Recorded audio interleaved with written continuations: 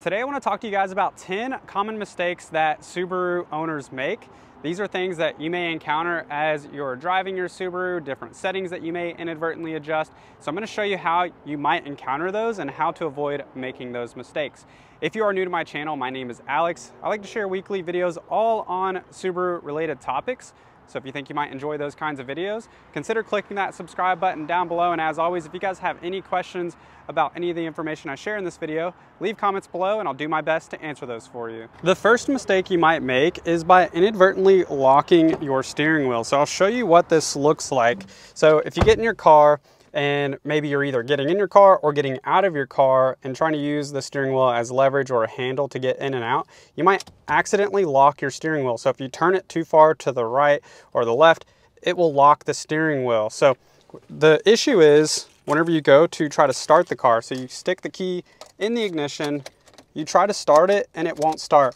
That's because the steering wheel is locked. So to release the steering wheel lock, you're going to turn it clockwise, putting pressure on it and simultaneously put your key in the ignition just like that, and that will release it. The good news is the majority of Subarus now come with the keyless entry with push button start, and it appears that this wheel locking feature, so you can still lock the wheel, but you don't have to worry about applying pressure to the steering wheel to release it. You just simply put your foot on the brake, put your foot on the push button start, and it will fire right up without any issues with the wheel lock. But if you do have a Subaru with the previous style ignition key where you actually have to stick it in the ignition, then at least now you know how to release the wheel lock if it ever gets jammed up on you. The Subaru keyless entry key fob is really convenient because instead of having to click the lock or the unlock whenever you want to get in or out of your car, you can just approach the car with your key in your pocket, you pull on the handle, the door automatically unlocks. Now, to lock the door, you simply put your fingers right here on the groove. Now, this is where the mistake comes into play a lot of people, because of the design of this particular handle, now not all Subarus are this way, I'll show you a different one here in a second, but because of the design of this, they go reach on the handle to put their thumb here to lock the door, but they might simultaneously actually unlock it. So the car is left unlocked unknowingly. In order to avoid that, just simply use your pointer finger here and go to the side. So that is how you lock it just by putting your finger right there on the grooves. As a point of comparison, I think they redesigned the handle on the Outback a lot better. And so you'll notice there's no little grooves right here. Instead, they are on the top or on the bottom. So works the same way. The grooves are just in a different position. So you can tap the top or tap the bottom to lock the door and then to unlock same thing, put your hand on the inside of the handle. So we know how the keyless entry works with locking and unlocking, but what happens if you wanna lock your key inside your car?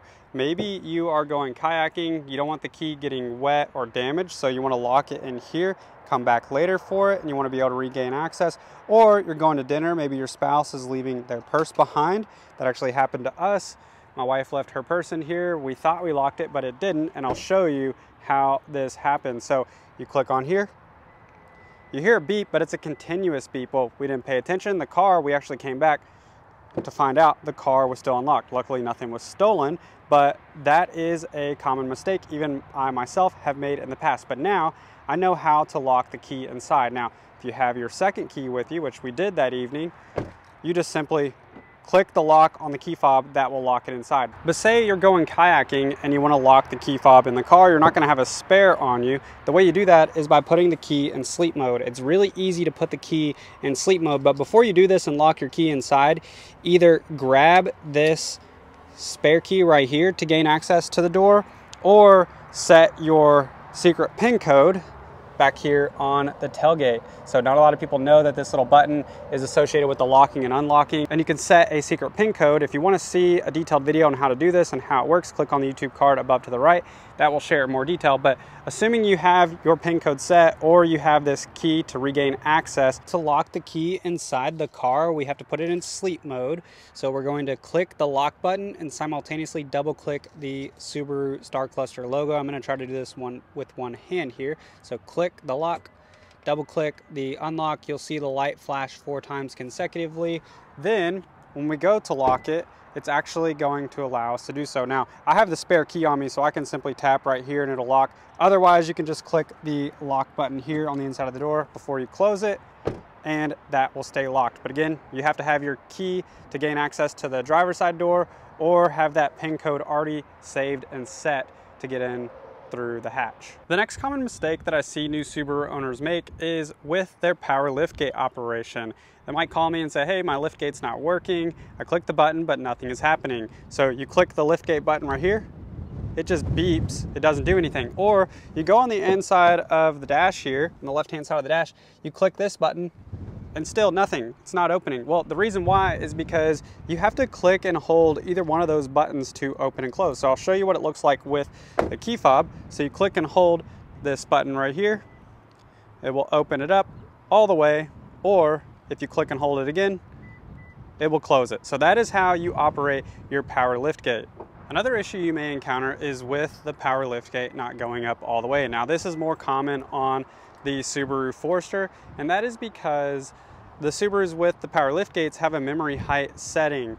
And with the Forester specifically, this is gonna be changing for the 25 model year, but at least as it stands right now, the button to turn this memory height setting on and off is right here. So you can see right now, it is pressed in, we'll unclick that, and now it will go up all the way whenever we operate that power lift gate button. So here we go, we'll go ahead and close this. And when we open it back up, you will see that it will go up all of the way. Now the reason why there is a quick way to turn on and off that memory height setting is because if you have kayaks on top, you don't want this going up all the way because that will likely clip the edge of the kayak and cause damage to your rear gate. For the Outback or any of the newer Subarus that now share this same 11.6 inch touchscreen display, you can adjust your memory height setting by going into the settings right here, scroll over to where it says car, and then at the bottom, click on power rear gate. Just tap that on right there when it's lit up blue. Then you can go around to the back of the car, open the lift gate up, and then you can manually move this wherever you want. Once you find it in the position that you like, probably a good idea to look from the side to make sure the spoiler is not sticking out too high. And then click on, click and hold this button on the right. You'll hear it beep and then you'll know that your power lift gate memory height is set. Resetting the memory height position on your rear gate for a Forester is the exact same, but you have a physical button as we just saw. So you click that button in, you go to the back of the tailgate, open it up, and then manually move it where you want. Click and hold that button until it beeps, and then you have a new position set. If you have a Subaru Outback, you may have heard that there's a hands-free option to open your power lift gate without touching any buttons. And the way this works is that whenever you have your key fob on you in your pocket nearby, you walk up to the car and you hold your hand out inches away from the Star Cluster logo, the power lift gate is supposed to open. Well, in this case, we see it's not operating. Well, why is that? So if you go around to the front of the car on the left-hand side of the dash, make sure that that sensor is not turned off. So we see that it's pressed in, that means it's turned off. So we're going to unpress that button we're gonna go back to the rear of the car. Remember, you have to have your key in your pocket and that sensor needs to be turned on.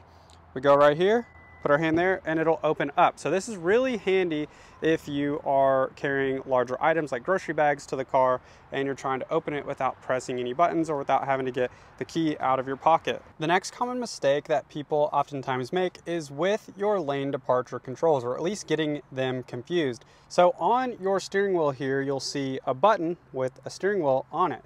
So a lot of people think that this will turn on and off the lane departure alert, the beeping noise it makes whenever you get too close to the left or the right side of the lane, but that's not the case. This just turns on the lane centering, which actually guides you left and right, keeping you centered in your lane. Now, if you want to be able to turn off the alert, the beeping noise it makes, go into your car settings, and I'm gonna show you this next in the Forester, but for all the Subarus that have this new display, we're gonna go into the car settings on the bottom left of the screen, under driving assistance, we'll go to lane departure, and make sure that the buzzer is turned off. So we'll turn it off just like that. And that will keep it from beeping whenever you go outside of your lane. Now, a lot of people like that safety feature. So if you do want it on, just turn it back on just like that. Now we're in the Forester and you'll notice it has the same layout on the steering wheel. You have this steering wheel button that controls your lane centering, so keeping you centered in your lane when you're driving. But if you want that audible tone on or off, right now it's actually on. If you want to turn it off, it's not in the touchscreen display. It's much easier. It's up here near the dome light. You click and hold this for just a few seconds you'll hear it beep. And then if you look down here on the dash, you'll see that now it says that your lane departure alert is turned off. And if you ever want to turn it back on, you just simply click and hold for a few seconds.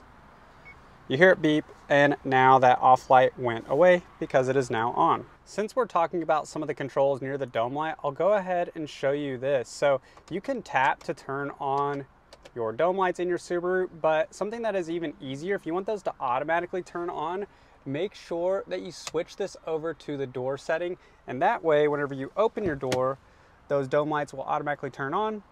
When you close your door, those dome lights will gradually automatically turn off just like that. If you drive across toll bridges or highways where you're going to need a transponder, a lot of those transponder companies will recommend putting your transponder in the center of the windshield up by the rear view mirror.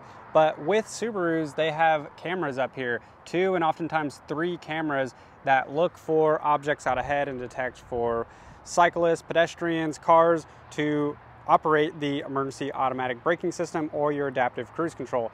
If that interferes, if anything's on the windshield, that could interfere with it and turn it off. And it'll tell you on the dash if it's turned off. It'll say EyeSight off or something of that nature. What I do with my transponder is I either put it up here in the top left or the top right of the windshield in the far corner. I haven't personally had mine interfere with that and I cross the toll bridge almost every single day. A common point of confusion and a mistake oftentimes new Subaru owners make is how to connect your phone and mirror the maps up on the display. So a lot of people are familiar with Bluetooth because that allows you to wirelessly make phone calls and also listen to music. But what a lot of the modern cars have now, Subaru included, have Apple CarPlay or Android Auto, which allows you to mirror your navigation and other apps up on the display. And so if you click on this, if you don't see Apple CarPlay here, then click on the add device icon on the bottom, click on your device, and then talk on Apple CarPlay. So it'll take it just a moment here to load up and reconnect, but now it is connected and the Apple CarPlay setting has activated. And this now gives you access to go in to utilize other apps like phone, text, and music. I hope you guys enjoyed today's video and found value in it. If you did, please remember to click the like button. That helps me out a ton and I would really appreciate it. Hope you have a great day and I will see you in the next one.